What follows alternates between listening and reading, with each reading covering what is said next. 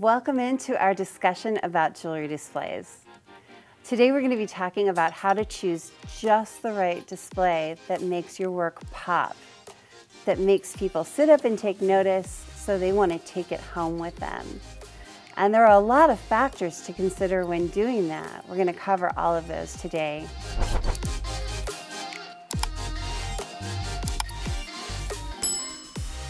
I'm Patty. I'm a jewelry designer here at Fire Mountain. And in my years of making and selling jewelry, I have learned so many tips and tricks and hacks having to do with display and how to make that appropriately frame your jewelry so the display recedes and your, your jewelry pops. We're going to talk about each of those. So there's seven categories for us to cover today. The first one is contrast. And then size, earring displays, bracelet displays, footprint, portability, and finally, style cohesion, display contrast. So when we're talking about display contrast, I'm going to move over to these three necklaces and earring sets here. They are fantastic sets of jewelry, just beautiful. But the way that I've set them up on these busts is wrong and I want to show you why, and then we're going to correct it, and I'm going to show you how a better contrast makes your jewelry pop. So let's start, start over here with this white bust. This white bust has this beautiful rose quartz and sterling silver set on it. Fantastic set. Um, it's really unique style. But setting it on this white bust washes it out it doesn't pop, it doesn't show it to advantage. It blends into the display and across the room, you're probably not gonna notice it. Let's move over to this black bust. On this black bust, we've put this beautiful black leather set. It's blingy, it's, it's fashion forward, very trendy, beautiful set, but it blends completely into the black leatherette bust it's not displayed to its advantage. And last, let's look at this natural bust where we have this uh, gold-filled and sunstone jewelry set. It really does show a little bit on this set. It's very style cohesive, but I feel like this gorgeous sunstone and the gold blends too much into this kind of golden tone fabric. So let's change it. Let's make it better. So I'm going to go ahead and remove the necklaces. We'll leave the earrings on so we could see what the contrast was originally. I'm just going to move these down here. So let's start with the sunstone necklace. When I put it on the black bust, look at how the gold and the sunstone really pops. Across the room, you can see that. And with a good jewelry display, someone is going to notice your piece from a distance away and be drawn over to it. This does that job. Now, if we put the sunstone and gold over here on the white bust, it also pops a lot better than on the bust that it blended into. So I'm going to go ahead and leave it on the white. I feel like this is a really nice contrast. It shows the piece to great advantage. So let's take the rose quartz necklace and let's put that on the black. Look at the difference. You can see this rose quartz and, and sterling on the white. It so blends in. But when we put it on the black, magic happens. You really see that sterling pop and you really see the pink in the rose quartz better. This is really going to make someone fall in love with the piece. So contrast is really important. Now let's take this great black leather piece and put it on the natural bust. This lighter color really draws the eyes into these great leather loops. It really makes people notice that style and how fun and interesting that is. That's gonna make someone wanna take that home and put it around their own neck, right? Great information here on really making your piece fit the background that is the display. We want the background to recede and we want the piece to come forward. Display size. Now the display size is really important because we're talking about framing your piece. So I'm going to bring this bust down here so you can see it better. So you can see we've got this beautiful big leatherette bust, and we've got this small but elegant amethyst necklace. Now this is actually a fairly large faceted piece, and it's one that a lot of people will just fall in love with. But there's so much real estate around the piece so the ratio of the jewelry to the display is really uneven. It's too much display, it's too much background. Let's go ahead and pull this little guy out. I love these little displays. And we've got this wonderful key necklace. Keys are really popular right now. Um, it's got a really nice chunky kind of a paperclip type chain, um, which is really fashionable but you can't see much of the chain. And the focal is falling off the bust. This is not a great way to display this piece. Um, there's not enough real estate around that focal to really show it off. So let's switch. I want to switch up and see what a difference we can make. So let's go ahead and put this piece on this bust. Look at how that frames that. Isn't it beautiful? We've got just the, the right amount of real estate outside. It's balanced with what's inside here. Um, the, the drop is appropriate here. It really makes this piece pop. I love it. And then this cute little shorty bust, these are absolutely great for a piece like this faceted necklace. So this has this great little elastic on the back. I'm just gonna drop the chain through the elastic and pull it through and let my pendant fall to the front of the bust. Um, so it takes up the slack of the necklace and you really see the beauty of that faceted amethyst then. This is a really appropriate display for this. It's just the right size. So you can see how size makes such a difference in how you display your jewelry and how it pops to the person you're presenting it to. Display of earrings. Earring displays are really important. Earrings are one of my very favorite types of jewelry, and displaying them to their best advantage will help them sell. So let's look at a few different types of earring displays. These are all single earring displays. So we have these great gemstone point earrings with the little hoops on them, and they look okay on this display. But it's very tall and there's a lot of um, negative space here. So I would probably prefer to have those on a bit of a smaller display that really frames them a bit better. Now these gorgeous amethyst hoops um, with the purple wire there are very trendy. It's a very hot style. And they look okay on this display.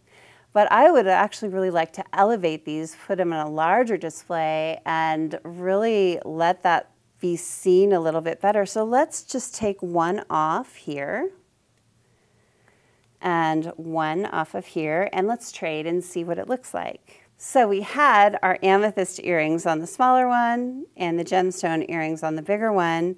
But when we trade up, look at how much better elevating that hoop allows someone to see the detail and it frames that large hoop a lot better. Then when we put the gemstone on this cute whale tail display, we've got that frame around that earring. It really shows it to better advantage. Now, with these earring card displays, I absolutely love this kind of display. And the reason that I love this kind of display is that it gives a natural backdrop for your earrings so you can really see all the details. Um, when you have a display like this, and you're looking at it from far away, from across the room, you see right through the display and you see all of the things going on behind it, if you can see my hand there. So you don't focus on the earring. When you use a card display like this, it stops your eye at the earring and really makes you focus on the detail, see all the work that you've put into that, and really want to wear it. All right. Let's talk about larger earring displays and multiple earring displays. So we'll look over here at this tower. This tower is a great way to display multiple earrings. One of the things I love about the tower is it It um, promotes interaction because you actually have to move it to see what's on the other side. And that kind of engages your brain a little bit. Just, just that little bit of movement. I absolutely love that. You can put a lot of earring cards on the towers and they come in all sizes. It also gives height to your earrings and, and um, makes it more eye level. So um, it kind of draws the eye from the table up and down, and that's a really good way to engage people. This display is another great way to display your earrings. You can see that you put, can put them on the cards here or you can put them right through the holes in the rack. So great way to display lots of multiple earrings. Display of bracelets. Let's talk about bracelets. I feel like they're kind of the underdog of the jewelry world. We don't talk about them enough and I absolutely love them. And there are great ways to display bracelets and not so great ways. And I think the real key to displaying bracelets is ease of picking it up and putting it down you really want people to interact with your bracelets. You want them to pick them up, feel them, feel how they are on their wrists. There's so much skin contact with a bracelet that you want to know how that feels on your arm before you buy it. So being able to just get it easily and try it on is absolutely key with, with no problems there. So let's look at this T-bar display. I'm going to pull that over here. This is a really classic bracelet display that you'll see a lot, and it's really great for certain kinds of bracelets. It really helps you show the focals to advantage, show really all around. It keeps them nice and neat. You can put a lot on there. And when you have this kind of an open bangle like this, or like this one over here, um, it's really easy to get on and off the display to try on. It's very comfortable to do perfect display for this kind of a bracelet. Or if you have a bracelet with a toggle clasp, it's also fairly simple to undo that toggle, take the bracelet off, try it on, and then hand it to the clerk to put it back on and refasten. No problem. Or someone can feel comfortable doing that themselves. Now, if you have a bangle, a closed bangle like this, it's really not ideal for this kind of a T-bar and the reason that is, is that if you want to take that bangle off, you've got all of these bracelets in front of it. And you really can't control when people take them off and put them back on, the position of your bracelets on the T-bar. It's going to change constantly. So if you have a bangle like this, I wouldn't actually put it on a T-bar. Um, same with another type of closed bracelet like this stretch bracelet for that kind of a bracelet, I really like a simpler display. So if you have like a plate or um, a pad to put them on, it's great to stack them like that. It really gives visual interest. There's this kind of display. This is great for portability too. We'll talk about that later. Um, great for a bangle. Other bracelets too. There's this pillow display. These are fantastic. You can put all different types of bracelets on this. There is a ramp display. There is this watch type display. This is fantastic, very easy to use. It's also very adjustable. So when we're talking about linear bracelets, and with a linear bracelet, I'm talking about a bracelet like this toggle clasp bracelet that looks really great laid out. I love a ramp display like this. It really shows everything about that piece, all the nice little details to your person. Now, if you don't have a lot of real estate and you don't want to have a lot of individual displays, but you have these linear bracelets to display, this display over here is absolutely fantastic. You'll see that it has those little hooks at the top to hook your lobster claw or your toggle into. And it's got this great elastic band at the bottom that um, you can slip your bracelets under for travel and they won't move around. And when you get to your show, you just take them out and there's a lot of easy access for people to pick them up and put them down.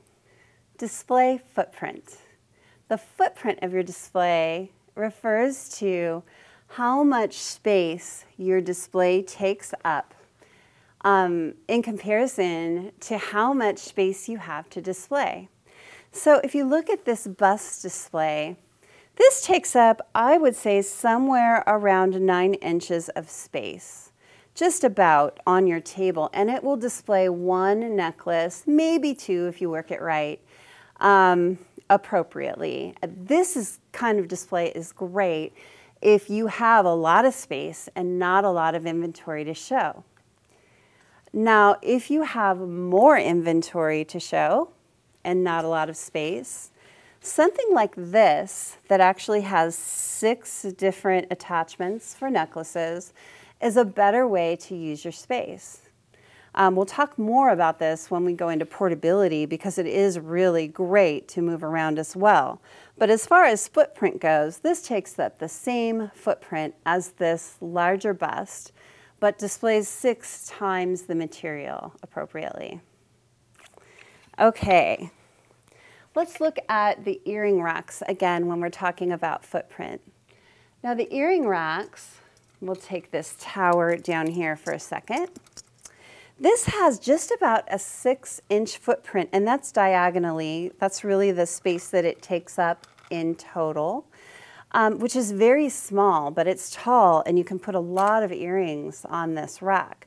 So if you have a lot of inventory and not a lot of space, this is a great choice. Now, if you have less inventory to show and more space, this rack might be a better choice for you. This has more like a 12 inch footprint side to side. It will take up about twice as much space as this one and display about the same amount of jewelry. Display portability. How easy and how light your displays are to take down and put up when you're traveling is really, really important. You want something that's going to look impressive and give you different heights and draw your eye without having the bulk of these heavy busts and displays like that. So we have some great options for portable displays if you're traveling and doing shows. You know, over my um, years doing jewelry shows, I really learned how valuable it is to have packable, um, condensable display that is still really pretty. So let me show you some different options here. You can see I have three displays packed on top of each other. In a box, this would take up almost no room. You could put it in the bottom or the top. Fantastic for portability, lightweight, and the less you have to lug around when you're doing a show, the more comfortable you're gonna be, the less time it will take you. So you get a better return on your investment of time. So this necklace display is a great option for a portable single necklace display, or you could maybe do two on here depending on the necklace. And it just snaps together in the back. It gives you a little bit of height. And if that's still not enough height for you, if you want a portable display that's a little taller, you can use these acrylic risers that we have here and set that on top of a riser and it gives you almost the same height as a standard bust. Really great option and these nest and will stack together. So really great choice. Let me leave that there. Okay. Let's look at this one. This is a great necklace display. You can see that it has these little um, grooves so you can actually put two different necklaces on here. So you can put a couple of choices here if, if you have the right kind of necklace. And it's just got this little kickstand on the back. So you just pull this up and it stands beautifully. It will stay. And little tip trick, if you're at a show and um, it's windy, you can just add a little weight to the back of this and it will stay even through the wind great choice for portability. And then again, the necklace display that we showed earlier that shows so many necklaces, same type of kickstand, lays flat, they're perfect. Let me show you another type of display that is great for portability for shows. These card type displays, this one would be for maybe a necklace, this one would maybe be for a small pendant or an earring. These are fantastic because they don't have the kickstands. They just stand on their own. Very simply, you don't have to do anything. There's a little Velcro back here to hold your chain if you need to do that. The great thing about these is they nest together. So if you have a bunch of them, you just put them together and they don't take up a lot of space. And they're very rich looking with the velvet. I really enjoy these a lot. Um, one more, actually a couple more little portable displays I'll show. This one is a really fun one. Check this out. It's on a little pivot and it has all of these spaces and you would put maybe a small pendant or a chain on this and it folds up real small to put in your box. Really, really like that. And last for portability, I want to show you this great option. Look at this cute little box. You just unsnap it, unroll it, and you have space for all of these earrings. You can just lay that on your table. You could prop it if you want. And it comes with this bonus little T-bar inside for your bracelets. You could set that next to it. And then when you're done with your show, you just roll that back up and snap it. So easy and so small. Display style cohesion. So the type of jewelry you're making is best on a display that echoes the jewelry. You want there to be contrast, but you want the style to be cohesive. It really calls attention and sets a mood, sets a vibe that will call people into your jewelry that will enjoy the jewelry. So if you look over here at this great wood display with the bamboo inset, we've got some fabric there, and we've got this great kind of boho themed jewelry. I absolutely love it.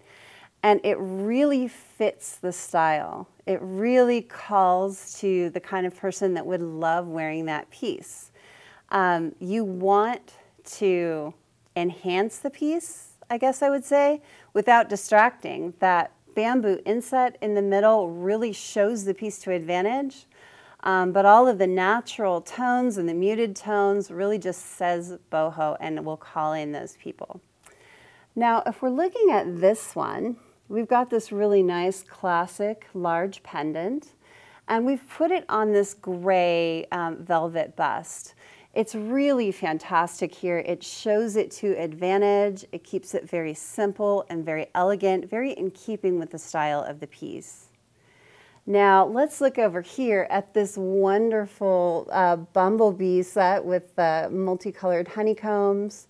Fantastic set and it really speaks for itself. It's fun, it's playful, and it really draws the eye in. We put that on that white bus so it would just recede. It's just a backdrop, it's just a background.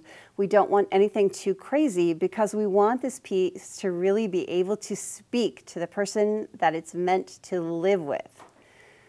So style cohesion is really important in making sure that we are really capturing the vibe of the piece to bring in the right customer to your piece. I hope that being with me here today in this discussion has really helped you take away some great knowledge on choosing just the perfect display. Um, to really set off the creativity and the whimsy of your own jewelry. You can play with the rules, do it your way, but it's nice to have this little bit of foundation so when you're making choices, you really feel confident that you've got the right display to make people sit up and take notice of your work and just want to take it home. Make sure and check out our website for more great information on displaying your jewelry, on making your jewelry, on selling your jewelry. Make sure and like, share, comment your questions. We would love to answer those for you. Follow or subscribe to us on Facebook and on YouTube. And if you want the insider information on all our upcoming promotions, specials, and sales, make sure and subscribe to our email list. Thank you so much for being with us here today. We will see you next time.